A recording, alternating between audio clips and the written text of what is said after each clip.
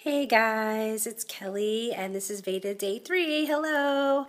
Um, oh, sorry. Phone's all crazy. Okay, so today's subject is things you cannot live without. Um, not people, but things. And I have a couple, just two. First one, I'm embarrassed to say, but here we go. Yeah, TV. I love TV. I love movies, TV. it's embarrassing because, yeah, we're just told shouldn't watch so much TV, but I do. I, I really enjoy TV. Um, it's something that, you know, when maybe you're not having such a great day, you can um, escape into a TV show. It makes you laugh. I love to laugh. So that's it. And you know, like we have, I actually, we have satellite. So sometimes when it rains or, you know, we have a bad storm and we lose the satellite, it's like, what, what am I going to do? I need television. it's so sad. Okay, so then the other thing that I can't live without is my uh, engagement ring and wedding band. And um, it's kind of sad right now because I can't wear them. I mean, I'll, I'll show you. Um, because I'm pregnant and I've gained weight and I'm swollen, I can't wear my set.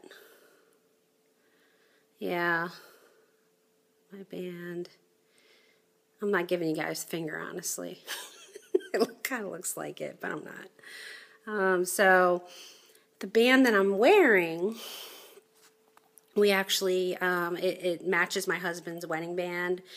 Um, it's a tungsten carbide um, band. It's the exact one that he has, just sized for me. So we got that when I was pregnant with Eli because, you know, I had to take my wedding ring and engagement band off. I mean, you know what I mean.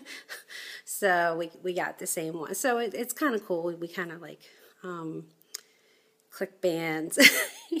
it's kind of stupid, but corny. But that's us. We're corny.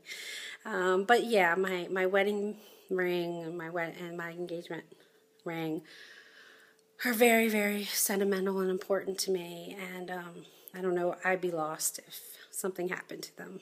So I know it's pretty sappy, but it's true.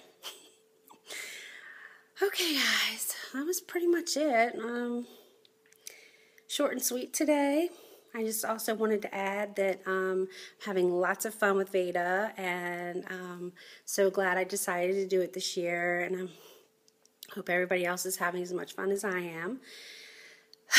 I try to watch everybody's videos. I don't get to comment on everybody's. I apologize, um, mainly because I I watch them when I get a chance, um, and when I start commenting, of course, YouTube puts your comment limit on there, so they always limit me, and you know, there there needs to be a way around that, really, because it's annoying.